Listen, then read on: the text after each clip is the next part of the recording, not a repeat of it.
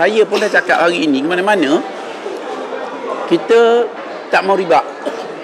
Dan Islam tak ada riba. Tapi kadang-kadang masalahnya dia cerita um, riba tak ada. Tapi ada cas yang ditukar rupa. Jadi kita kita harap apa yang dilakukan berdasarkan aduan-aduan yang kita terima ni kadang-kadang dia jadi macam pelik sikit. Contohnya harga tinggi. Um, charge pun berubah walaupun patutnya dia tidak berubah. Jadi ada orang tu dia komen sebenarnya dia pun kalau ikutkan apa yang kita cakap dia memang tak tahu pun dia bercakap je lebih. Memanglah dia perunding. Tapi ada perunding yang kita perunding dengan profesor lah, doktor lah tak memang daripada zaman Profesor Ibrahim lagi sebenarnya dia dah cakap siang-siang. Bank seharusnya kalau perbanking Islam dia kena pergi ke mahkamah yang asas Islam juga. Kalau tidak dia jadi dia tidak uh, uh, uh, tidak selari lah. Dia maknanya benda yang berbeza kan. Jadi kita pun pernah ada kes yang mana pinjaman 300 ribu ini bawa ke mahkamah eh. Pinjaman 300 ribu rumah tak siap.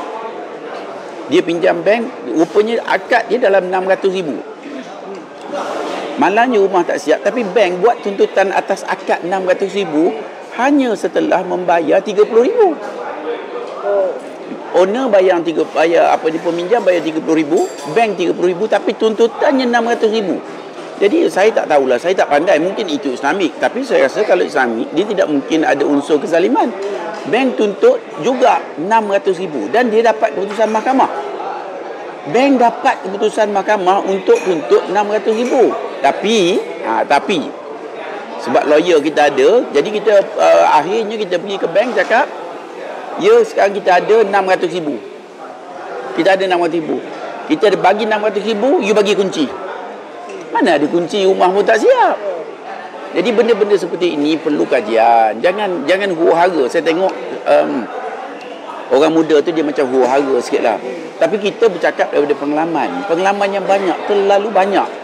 Kadang-kadang dia lebih lagi menekan. Dia tak boleh. Dia apa-apa dalam Islam, dia tidak boleh ada sifat menekan. Ada sifat menekan, maka ia bukan Islami. Menindas. Tu tak boleh ada. Jadi, ini macam biasa saja. Dan siapa-siapa pun, bank pun uh, uh, menggunakan uh, window Islamic banking yang kita rasa uh, lebih mengambil kesempatan lah. Jadi um, saya harap perkara ini kita kaji. Saya harap perkara ini semua kita kaji supaya kita tidak terperangkap. Supaya kita tak perangkap. Usaha tu baik tapi kena berterusan dan kena bertambah uh, kualiti sentiasa kena tambah kualiti dia. Maknanya kena tambah baik apa benda sekarang ni Islamic banking charge pun um, bukan kurang daripada non-Islamik patutnya dia kurang lah patutnya tapi kita ni sebenarnya pasal kita ni mencari Islam kita tak apalah kita bayar lah kita pun ikut saja tapi benda ini kadang-kadang kita kalau ikut pengalaman telah diambil kesempatan oleh pihak-pihak tertentu kesempatan telah diambil oleh pihak-pihak tertentu jadi bila kes itu dibawa ke mahkamah Habis bila tak ada rumah, pasal rumah tu macam kita sewa. Jadi benda tu tak jadi. Jadi, jadi kes tu ditarik balik. Ha, jadi benda-benda macam ni lah. Tak boleh. Jangan, kita tidak harusnya menjadikan ini platform untuk buat duit atas um, kesusahan orang lain. Ha, ini yang saya harapkan lah.